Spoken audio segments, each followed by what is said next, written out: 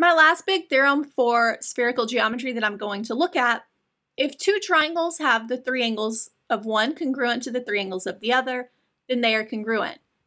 This is essentially the AAA congruence criteria that does not exist for Euclidean geometry. In order to do this, I'm going to start with two triangles.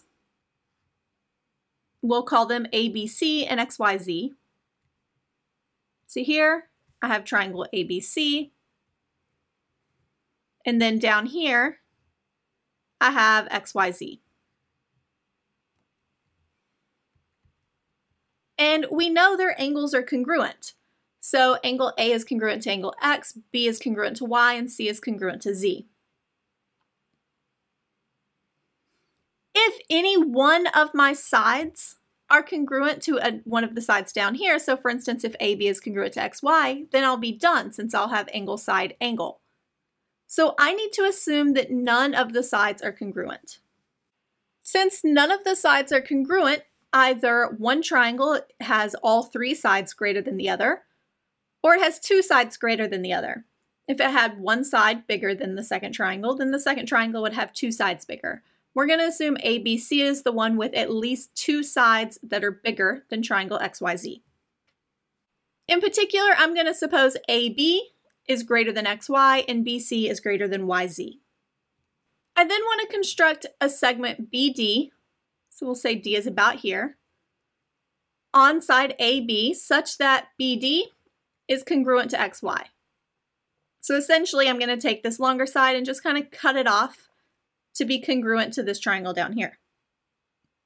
I'm also going to construct a point E on segment BC such that BE is congruent to YZ. So essentially, I'm just going to kind of cut off this little triangle here so that these here are congruent. That tells me triangle BDE is congruent to triangle YXZ by side angle side or by angle side angle. I'm also going to draw this segment AE, essentially to break up this little trapezoid thing that I have going on here into smaller triangles. And I'm then going to denote the excess of each of these smaller triangles by excess 1s, 2, and 3. Excess 1 plus excess 2 is also a triangle, triangle ABE, so this is equivalent to the excess of triangle ABE plus the excess of 3. Well, once again, when I have additivity, this would be the excess of my triangle ABC. However, since I took excess 1 and added some stuff to it, I know this is greater than the excess 1. I also know that the excess of triangle ABC is equal to the excess of triangle XYZ since these two had the same angles. So their angle sum will be the same and the difference from 180 will be the same.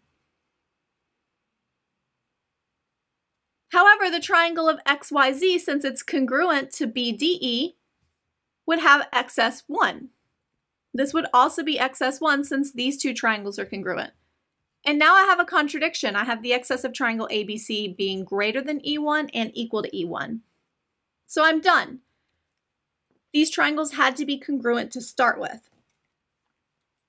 And this essentially tells me that in spherical geometry, similar triangles do not exist. If all three angles are the same, my triangles are congruent.